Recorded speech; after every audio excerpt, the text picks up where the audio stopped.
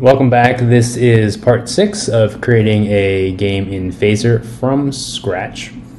In the last part, we looked at adding custom fonts from Google Fonts. You see them right here, the seven and the zero.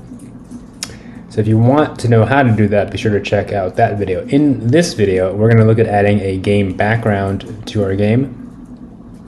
So Pong has a line and we'll just add like a circle here to denote the center of the screen. So let's do that. We will use a new scene. So we'll make a new class. We'll call it game background. So new class or new file, game background.js. Here we are going to import phaser from phaser like we've done before, and then create a class called game background. It will extend phaser.scene. Great. So uh, scenes have preload or can have preload, and they can have create. So to make a line, we will do this dot add dot, let's say there is a line. Let's see, that line. We're gonna put it in the middle, 400, 250. Let's see, new line. So probably x400, y0. That's x1. x2 is going to be 400, 500. y2, stroke color, white. So FF, FF, FF, alpha 1. Let's see. So there's that. Now let's uh, import our game background. So we're going to go back to main.js from scenes game background. So like before, we have to register our scene with the scene plugin. We're going to call this, give it a key, so game dash background, and then the game background class. Okay, so we are going to start the, we're going to run the game background scene in the game, in the game scene. So this dot scene dot run, we're going to say game background. Let's see what this does. Nothing. No errors. Game background, this dot add line. Let's do...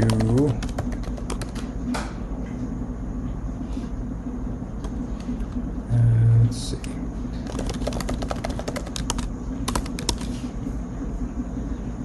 Okay, that is being created. The line must be somewhere else. Let's try that. Okay, so that's zero, zero. Let's refer to the docs. So scene, add, gonna add a line. Horizontal position of this game object world, okay. The horizontal of the start of the line. The vertical position of the start of the line. So let's see, what do we got? Let's just try some numbers to get a better feel for what's actually going on here. Okay.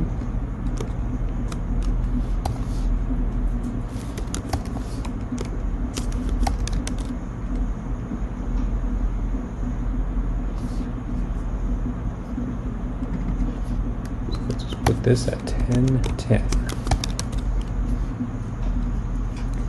Which is here. So let's understand what this is doing.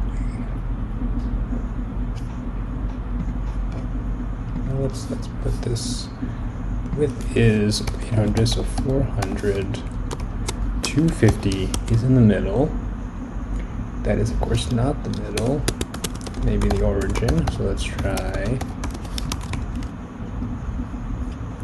It is definitely still not the middle.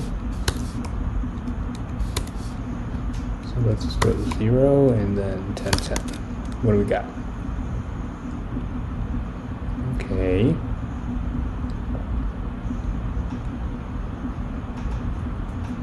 So let's try this.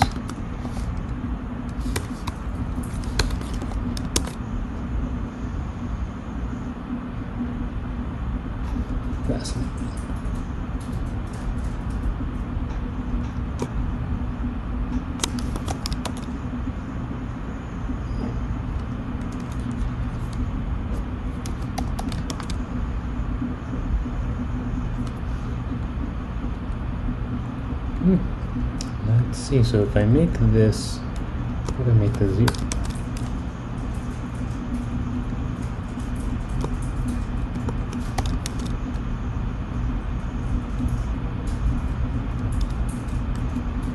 Just better visualize this. So this is the x and y, this is the x1, y1. That's the color? Let's just look at it this way. So this y value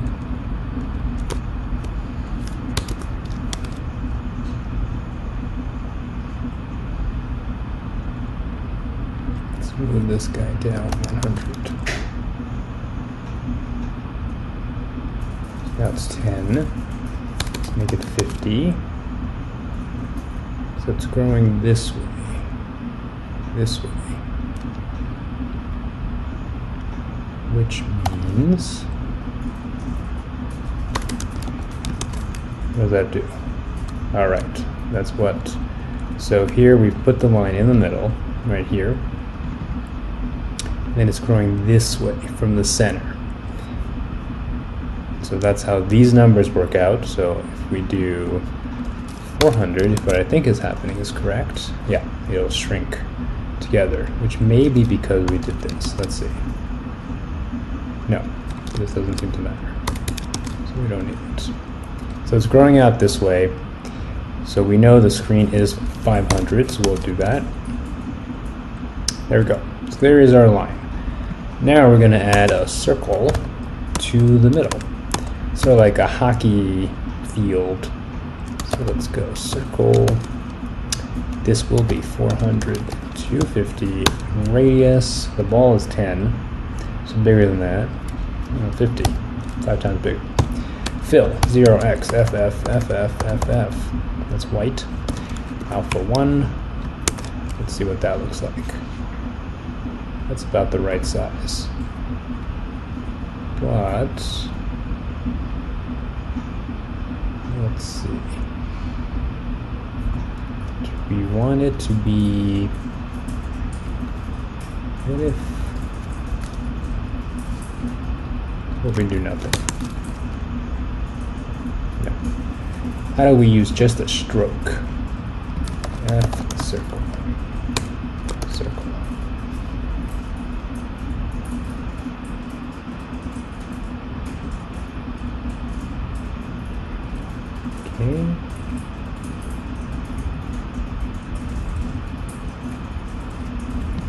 We may have to do an arc. This dot add arc.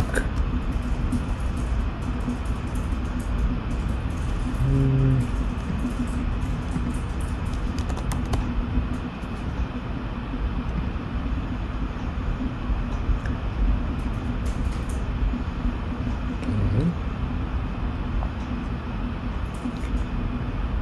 What is it return? Returns an arc. Is there a set stroke style? Okay, let's try that. Let's try stroke style. 400, 250, radius 50, fill color will be nothing.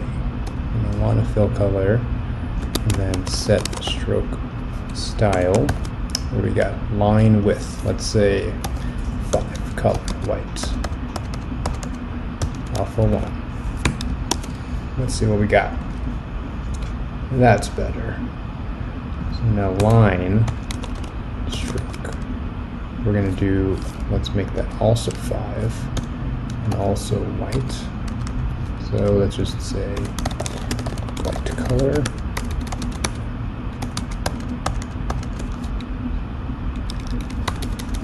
White color. White color.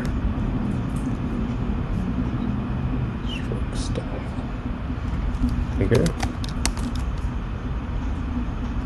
line does not respond to stroke style.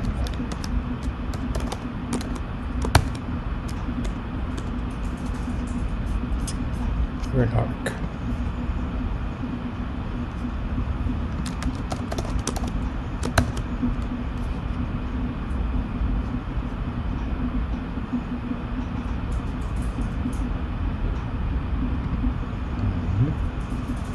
View line. Let's see. Is there a way to change the width of a line? Fill alpha, height, line width. Right. I guess line would not be stroked. Alright, dot set line width. Beautiful. Well, let's just say both. Both five. What do we get? Too big. Two. Too small. Probably we need two and a half.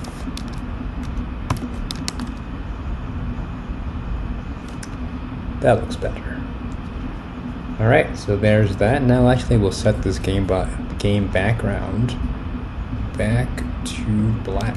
So we don't need this. See, that looks more like Pong. Just make this ball.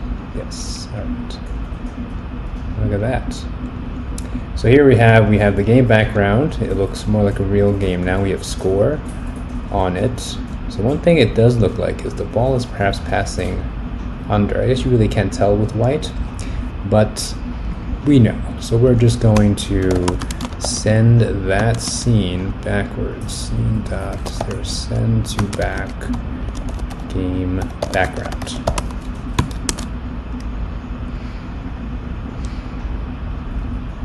Guess you really can't tell the difference. If you change the color of the ball, it would. But that's how we prefer it. So that is the game background. So be sure to come back for part seven, where we will fix up some of the code that we've already written.